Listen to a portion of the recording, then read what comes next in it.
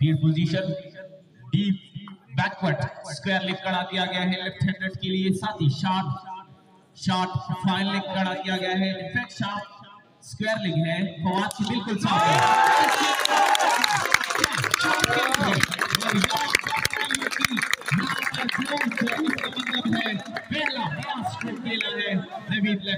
खतरनाक है। दानियाल हादी को उसने प्रेशर में लिया हुआ है।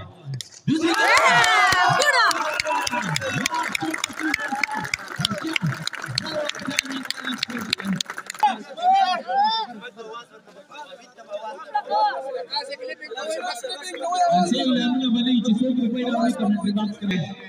थंडर्स की टीम को एक फिर दानियाल हादी दौड़ते हुए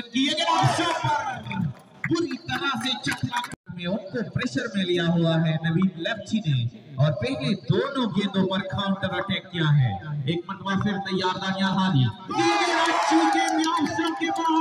मरतबा फिर तैयार है। उनकी गेंद का सामना करेंगे अमीर शाह। अमीर शाह ने गेंद को फ्लिप करना चाहते थे। डीप बैकवर्ड स्क्वायर लेग की जाने। एक